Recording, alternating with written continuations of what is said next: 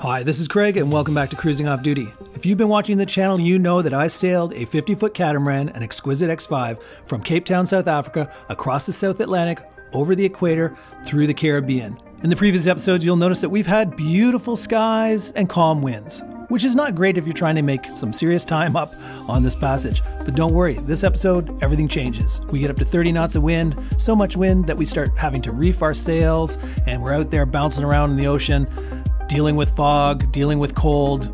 Kind of a lot more miserable than what you've seen in the past, but it's more real life. Because it's the kind of sailing you're going to find when you're sailing in these extremely southern parts of the Atlantic Ocean. But it's not all bad because we get visited by dolphins and tons and tons of seals in this episode, so you're going to want to check that out. Before we get into this episode, I just want to thank A, my patrons, some of which have been around since the beginning of the channel, long since before I was doing any of these transatlantic voyages, and in this particular voyage, a bunch of sponsors that jumped on board to help defer the costs of me flying halfway around the world and spending eight weeks away from my regular job.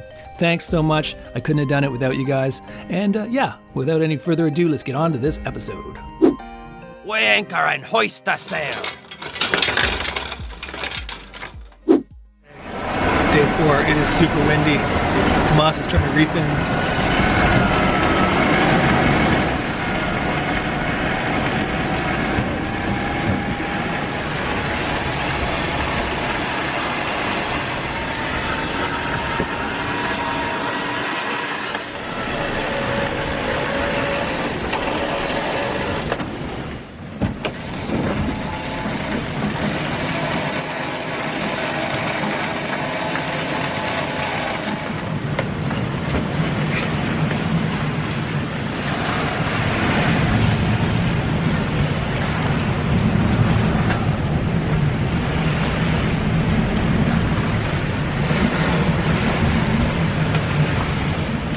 I just want to hook it up because we're gonna use for days. I think probably Okay. a couple of days with this. Okay.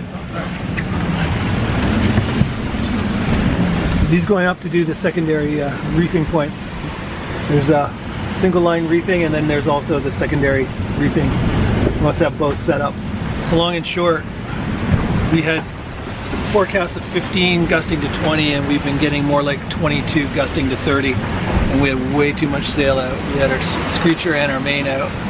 So uh, we're going downwind, but so the apparent wind isn't as strong as what I'm telling you, but that's the true wind speed. But just way overpowering, as you can see now how much we're bouncing.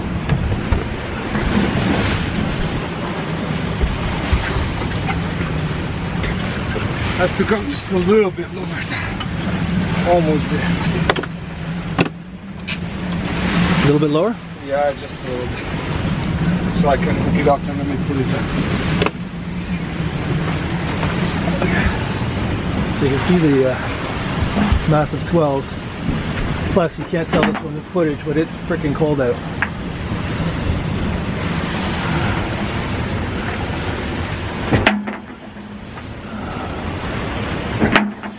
So the jib, the little blade jib, is the only thing that's propelling us right now. The main is uh, is loose and luffing, but uh, yeah, we're taking the second reef in. Sean just woke up from all the banging and slamming. Oh, I've been up, but I mean, you guys were doing pretty good. Yeah, I'm learning. My boat doesn't have this set up, so I don't know how to do this at all. I've in mast furling.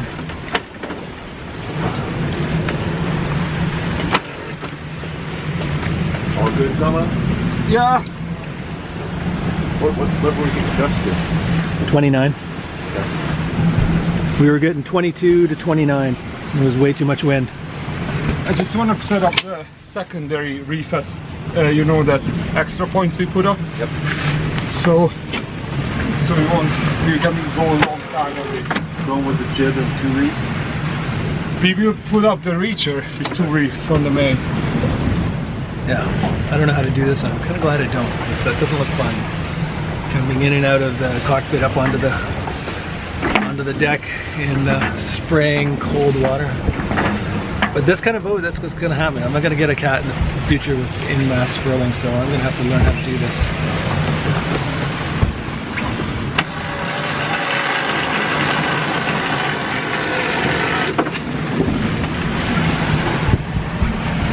again out to the mast.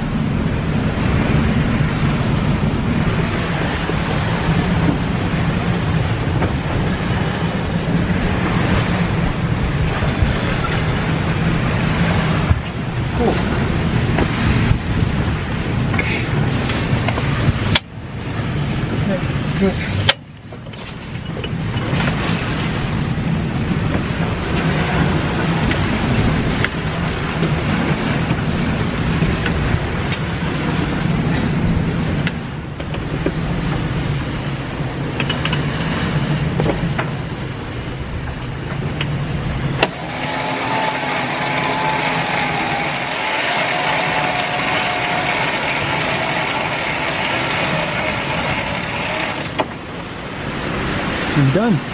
There you go. The reefing is finished. All balanced now.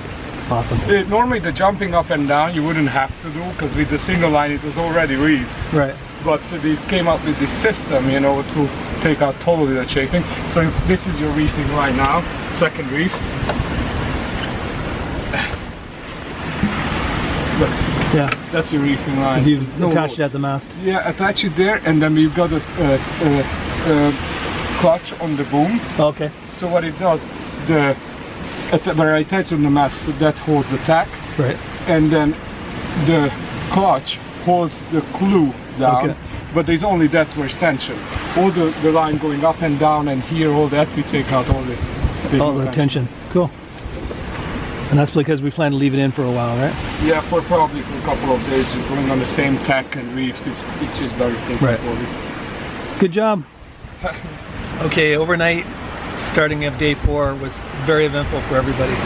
So uh, Steve, who was on from midnight to three, had fog so thick that they couldn't see barely the front of the boat. And Neil came on from three to six, and uh, the fog was dissipating. But that's when the wind really, really, really picked up. And then I took over at six, and he said, "Man, we're at the edge. I think if it gets much stronger than this, you're going to have to wake up Tomas and uh, help him uh, reef the main." So that's exactly what happened. Instead of it being 22, 23 knots when Neil was up, it turned into 26 to 28 knots when I was up, and that's what you saw was Tomas jumping into action to, to reef the main because it was just too much. It was overpowering the uh, autopilot. So eventful. So now you can see the swells going by. Every once in a while we get a monster, but right now it's not too too bad. Running through this surf and uh, pretty high waves, and while I was out there, I saw dolphins swimming beside the boat. Oh, there they are. They're swimming even in these massive waves. Swimming in front of the boat. There they are. Even though we're surfing down these waves, they're still trying to swim with us.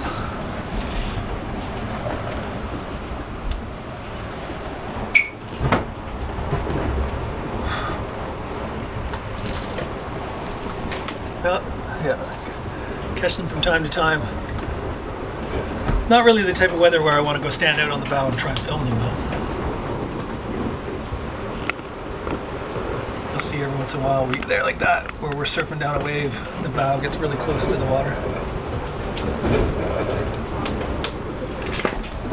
The yacht club at Walvis Bay. Oh, really? Oh yes. So get your shirt, get your shirts and ties out.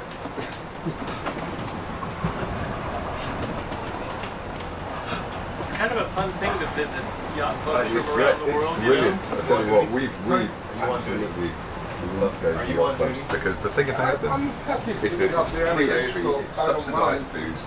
They usually do really good food, and they usually have So, yeah. fantastic teas. And the, like the one in Dartmouth uh, has just this amazing location. It's at, uh, Because we're doing this, what, 20, uh, 27? where it's like next to the castle. I think it's, it's good. Gotta get your B-roll, right? They're the best Yeah. ones. The best ones. The, uh, They're on, they're on sticks. Hey Craig, Yep. it's famously difficult to capture I know um, on cameras. uh, Waves. Waves. waves, but I've seen a couple of the bloggers do a technique where they're they're showing it in like slow motion, Oh yeah. and it seems to be more effective actually at dramatic. showing the the drama of the sea state when they do it in slow motion. I don't know why. So yeah. It seems like too. Not only is it visually hard to capture on camera, but the minute you pull your camera out, the waves just sort of Of course. Smooth It's like- out. it's Then you put the camera sets. down and all of a sudden, They wow! come in sets. Oh yeah, here comes the set. Here we go, here we go, here we go. Ride it, baby. Yeah, that, would, look good from over there. Yeah. And down. Side turn, it's gonna come faster now. And then up the next one. What have you got on your feet, Craig?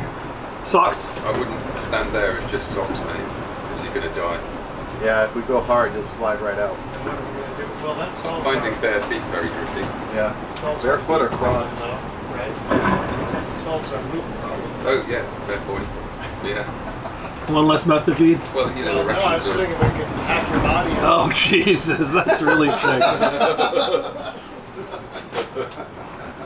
I mean, we actually win on both. on both. Good Steve. You sick, man. Hello, people. This is the end of day four of sailing. It's been a miserable day, especially for me. Earlier, I, I probably threw some shots in there. It was gusting to 30, above 30 knots, and some crazy white caps and swells, and just a confused sea too, because the swells are coming from the south, but the wind was coming from the east. So it was like being in a washing machine. Uh, last night was crazy, hard, really almost impossible to sleep because um, I'm sleeping in the cabin on the port side. The waves were coming over the starboard side, uh, so the starboard hull would rise, and then the wave would go under the boat and slam into the port hull, which is where I was sleeping. So not only are you bouncing up and down, but every once in a while you hear boom when a wave hits the inside of the thing. Now that's a catamaran thing. That's not an Xquisite thing, um, but then later today, by that point I was already feeling a little nauseous, um, and I got no sleep. Which, of course, if you don't sleep, you're tired. You get nauseous even more easy. Um, they finally changed the the sail plan. Instead of having a main and a and a Genoa, they just have the Genoa out now, and now we're going more dead downwind. So we're not having that that cross wave action slapping us and making us tilt back and forth. So it's much more comfortable now. But anybody who's ever been car sick from reading a book in a car or something, even when you put the book down, it takes a long time to stop feeling car sick, even though you don't usually get car sick. And that's sort of how I feel. Once I felt seasick or nauseous, it's really, really, really hard to get that feeling to go away. Even when they changed the way the boat was sailing to minimize the slamming and pounding and all that stuff, it still it's been a tough day for me. And now I'm starting my evening watch, and look what I got here. It's almost fogged right out. The wind has also died down a bit. It's only 23 knots instead of 30. So uh, still uh, pretty rolly though. Anyways, yeah, not something I knew I was susceptible to as seasickness, but it's been uh, first day and now the uh, overnight of the third day into the fourth day. So two times now. Not enjoying that at all. Oh well, something I'll have to get over. Good morning, people, and welcome to day five of our sailing voyage. Feeling better, feeling more perky. Got a good night's sleep last night. Waves certainly calmed down. Wind is really, really low to the point we can't even sail. We're going dead downwind, and it's only like eight knots of wind. So we dropped the sails just recently in the last hour, and we're motoring. Look at the fog. In case you're wondering why we keep getting fog in the morning, like you can't see anything other than your radar and your and your AIS, you can't tell what's out there. But in case you're wondering why we seem to have so much fog here, it's because there's actually a uh, Antarctic current that runs up here. So it's really, really cold water. But clearly as we go further and further north, it's getting hotter and hotter the air. So every morning we wake up to, well, even in the middle of the night, it's just fog. Uh, so that's the reason. So kind of cool, it's kind of eerie and cool at the same time. But like I say, I feel uh, I really appreciate the sailors of old times that didn't have radar or anything because you're really just sailing almost like blind. Can't see anything out here. So I'll show you my thing. This is our grid where we'd see AIS. If I zoom out, there are some fishing boats out here in the deeper water, but uh, nothing close by. And change this combo. So there's our radar. Nothing on the radar and nothing on the AIS. So that makes us feel a little better. Now, obviously, still got to try and keep your eyes out in case there's some, you know, fishing boat, small fishing boat with no AIS and very small, doesn't hit the radar. So you got to keep your eyes peeled in case you got to do a last minute uh, avoidance maneuver. But so far, great day. We're about 157 miles from Walvis Bay, which is our spot in Namibia we're stopping. So it looks like a little bit over 24 hours. So we're gonna get there, unless we speed up, we're gonna get there around midday tomorrow. So that's that's okay. Tomas is out there on the bow of the boat. We're close enough to shore now that he can get cell signals. And he's calling uh, Phoenix Marine to get the uh, service crew to meet us in Walvis Bay and do any last minute um, fixings. I don't think there really is anything we've noticed, but you know, they go everything with over everything in a, with a fine tooth comb. Just to, it's like a big long uh, test sail, and they'll see if there's any issues they need to tighten anything or adjust anything. Good after sale service. One feature of this boat is it has a bread maker, and today's Tomas's day to make bread. We make bread about every day, and uh, Sean's bought this huge professional-like bread maker for his boat. Smells so good. There they are. There's some seals that are playing just like dolphins. Oh there's some over there too. There's a bunch of them. Wow, did, did you get that one? Yep, and there's one out there, one there. and there's another one over there. Oh, lots Oh. of them you jumping here. Yeah, In the fog. Seals in the fog. it's pretty cool. Gorillas in the mist. I know, eh? Look at them, their little fins hang up in the air. That's cool. Give you fucking edge. That's what I'm gonna get all the time. I'll do it. Okay, ready? Okay, morning breakfast. Okay, here's what we're gonna do, guys. We've got scrambled eggs and cheese. I'm gonna put the eggs in the bowl, and then we've got avo, sausage, various hot sauces, salt and pepper, so you can uh, you can season to your taste. Thanks.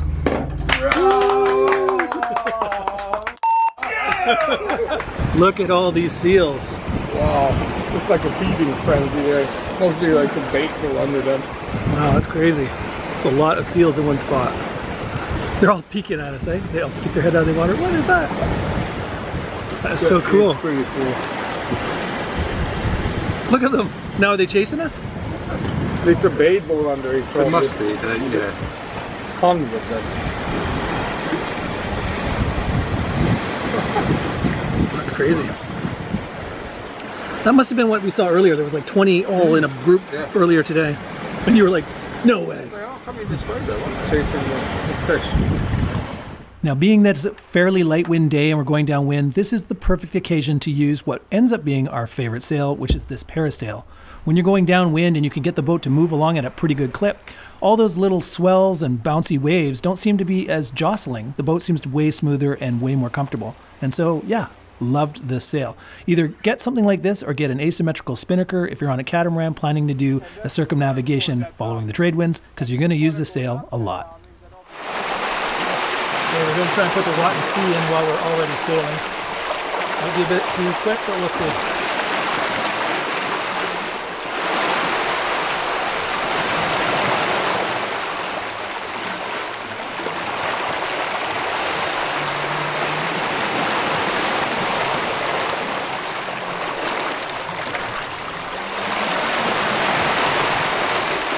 Is it going to lock? Oh, it did lock. Yeah. Sean has his uh, iPad out here. He's checking the. And obviously it will be more on the surf. What were we at? 25? Yeah? No, we were at No, it's- 35. Now it's minus nine. Look at that, down to 9. I mean, it's, it, on the surf it definitely. So it I was think minus right now the- 35 before, so you got about 20, right? 20, 25? Close to it. If you have this, this if it starts like at 8 knots, really starts really charging. Uh, uh, anything like 8, 10, that's where what we did the other day, that would be seriously charging. All right. We're putting this sailor down, and these guys decided to come pay us a visit. Look at that. It's a lot of seals. Well, that's the end of this episode, but if you're interested in buying a catamaran, you're definitely going to want to check out the next episode. The next episode is going to be a standalone episode that's going to be just a detailed walkthrough tour of the Xquisite X5 with Tomas while we're sailing under a parasail. That's right, a full detailed tour, not like the ones we do at the Annapolis Sailboat Show where it's out of dock, but a detailed tour of the boat, top to bottom, while sailing. So, yeah, if you're interested in buying a catamaran, whether it's the Xquisite or any other boat, and you want to compare it to this one, definitely check out that episode. Subscribe so you don't miss it. If you enjoyed this episode and you found it entertaining or informative, show the channel some love by giving it a thumbs up. And until next time, this is Craig signing off, wishing you safe cruising and ciao for now. Weigh anchor and hoist the sail.